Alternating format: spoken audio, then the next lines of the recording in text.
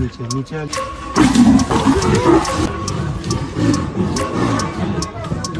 फायर का